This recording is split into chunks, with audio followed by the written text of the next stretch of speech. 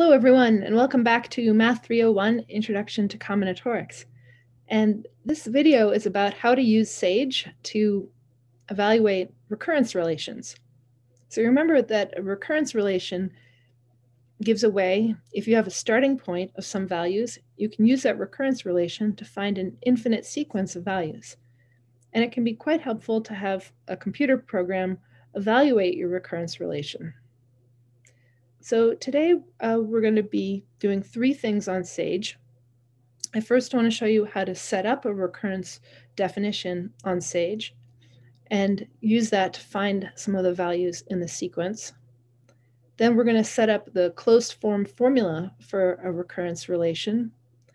And then we're going to see how to go from the recurrence relation to the closed form formula. So let's start with the Fibonacci sequence in section 6.1. Remember, this is the sequence that starts 1, 1, 2, 3, 5. And after the two initial values of 1, each value in the sequence is the sum of the previous two. So here we're going to define Fibo of x. If x is 1, we will return 1. If x is 2, we'll return 1. Otherwise, we're going to return the sum of the previous two values in the sequence. When you do this, be very careful about how much you indent the lines. It turns out the indentation is very important. Okay, so let's print the first several values of the Fibonacci sequence by printing Fibo of n for n from 1 to 10. And so uh, notice what we have here. So we start 1, 1, 2, 3, 5, 8, 13, 21, 34, 55. So those are the first 10 Fibonacci numbers. Okay, what about the 100th Fibonacci number? Um, all right, seems to be kind of um, not working. Let's let's um, let's just try doing that again. Maybe if I click this box lots of times, it'll go faster. I don't know. Do you think this is going to work or not? It's certainly taking a while. Let's think about why it's taking a while. In order to figure out the Fibonacci value at index 100, we have to find the one for 99 and 98. And to find 99, we'd have to find 98 and 97. And so there's a lot of uh, steps and data that we have to keep track in order to figure this, this out. You can still see this is still thinking. Now, if you're a computer science expert, you probably know there's a there's probably a better way of setting this up so that we um, maybe save two values at a time and then compute the next ones. We're not being as sophisticated as we could be. On the other hand, 100 isn't that big a number to start with. So maybe we need a different way of doing that let's let's stop stop that. So let's instead try to set up the closed form formula for the Fibonacci numbers. So if you look in the book you can see that that formula involves the square root of 5 let's just check that the we've got the right formula for the square root of 5 yeah that's about about 2.23 and the formula involves the golden ratio, which is 1 plus the square root of 5 over 2, and its conjugate, which is 1 minus the square root of 5 over 2. And the formula in the book is that in order to find the nth Fibonacci number, you should take the nth power of alpha, subtract the nth power of bar alpha, and then multiply by 1 over the square root of 5. Okay, so let's let's make that definition and then find um, the 100th Fibonacci number and notice how immediate it is. Um, the computer can do this uh, really, really quickly. Okay, so how did we find that closed form formula for the Fibonacci numbers? Well, remember that in, in this case, this is going to be a recursive relation of depth or degree 2. And so there's a general formula for the solutions to that, we need to find the roots R1 and R2 of the characteristic polynomial, raise them to the nth power, and then there should be constants A and B so that um, that the nth Fibonacci number equals this. So how can we do that in SAGE? We need to start by defining a polynomial ring. This is just a way of telling the computer that we want to be able to uh, deal with um, functions in one variable. And the characteristic polynomial, the relation that fn is fn minus 1 plus fn minus 2 tells us that we're looking for something that looks like x squared is x plus 1. And so our characteristic polynomial is x squared minus x minus 1. So let's define that polynomial and let's find its roots. Great. Okay, so notice what these roots are. Um, if we pull the 1 halves out, here we have minus the square root of 5 plus 1 over 2.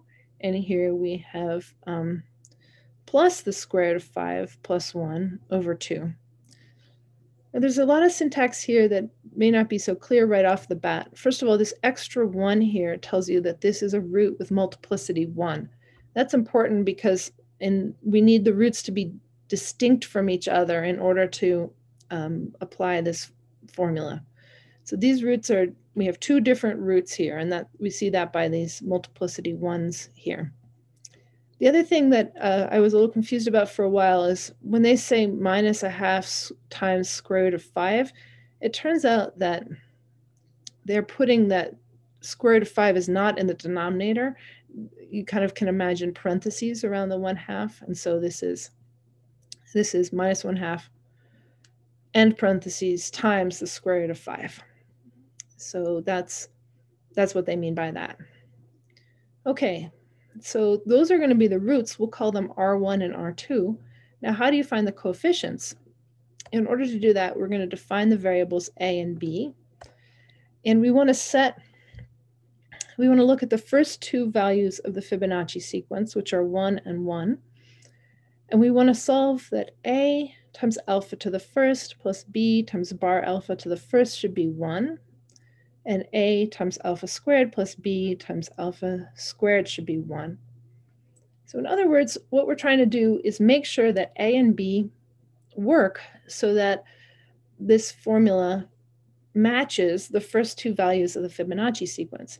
And once it matches the first two values, the recursive relation tells us that all the other values have to match also. So we want to solve the, these, we have two equations in two variables, we know what alpha and alpha bar are, so we want to solve for capital A and capital B.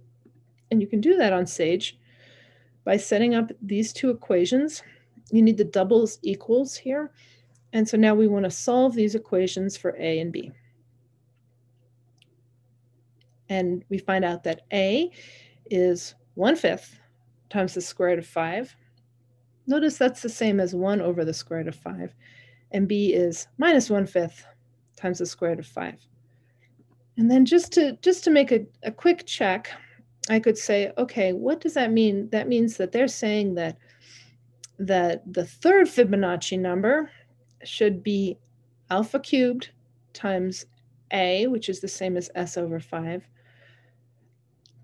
minus alpha bar cubed times, um, or um, or plus alpha bar cubed times b, and b is minus s over 5. So we're just going to make sure that um, we should get the third Fibonacci number when we do this. That will just be a way of checking whether our work is correct. And um, we evaluate that, we get the answer 2. So that, that looks great. Okay, so that that is how um, that's how we can do some things involved with recurrence, recurrence relations. And so just to reinforce those ideas, let's now do a different recurrence relation. This one involves the wasps that are circling around my back door. Uh, they're inside the, the roof, and we've been trying to get rid of them all summer long. And so we're going to define a recurrence relation. So we're going to define a sequence of values, wasp n, where if n is one, then we'll return one. So we started with one wasp. Maybe that's not so realistic, but it's okay. For n equals two, we're going to have one, return one, one wasp. And otherwise, we're going to return that the amount of wasps at time n is the sum of the amount at time n minus 1 plus 20 times the amount that were at time n plus two, n minus 2. And so let's see how the growth of the wasp colony works. So here are the first um, 10 values of this sequence. Notice that the number of wasps is getting big really, really fast. Uh, let's see if we can figure out the 100th wasp number this way. Uh, no, we've got the first 10. And just think about it for a little while.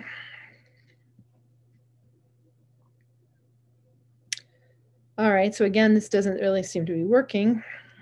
So there'd probably be a better way of setting that up, but um, maybe instead we'll just see if we can find the closed form formula for the WASP numbers. So this sequence doesn't have a closed form formula in the book, so we're gonna have to do it by hand.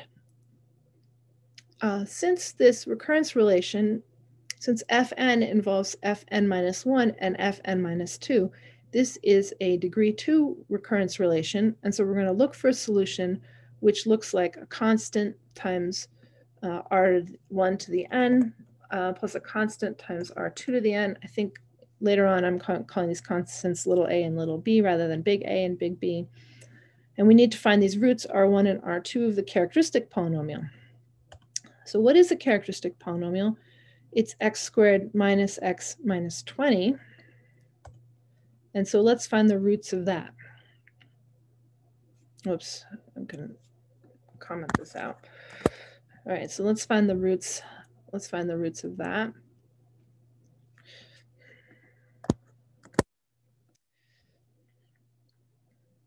Okay, so we have one root, R1 is 5, and the other root, R2 is minus 4.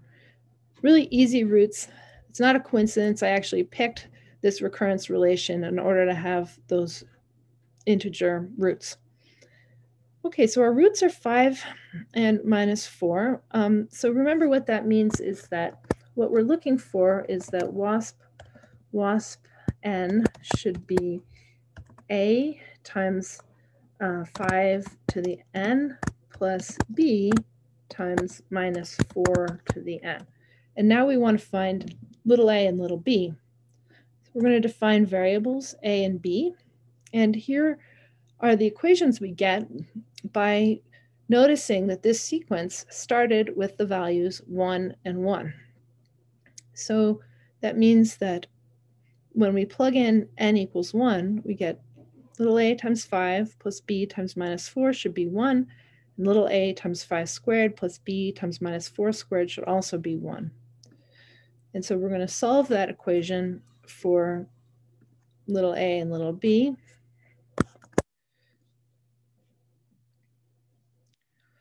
And the constants are 1 ninth and minus 1 ninth. And then we can make a check. Oh, I've forgotten what the values of this WASP sequence were. So let's just check.